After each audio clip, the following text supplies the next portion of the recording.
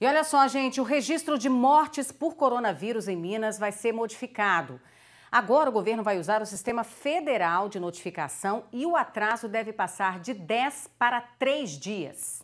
O CIVEP Gripe ele é praticamente instantâneo a notificação, então nós entendemos que nesse momento nós podemos já fazer a migração. Hoje nós temos um atraso em média de 10 dias para a notificação dos óbitos, com o uso do CIVEP Gripe, nós teremos no máximo um atraso de três dias. Para vocês terem uma ideia, nós já estamos acompanhando eh, nos últimos quatro dias essas notificações e, de uma forma geral, o CIVEP Gripe ele vem estando à frente das nossas notificações em torno de 100 óbitos.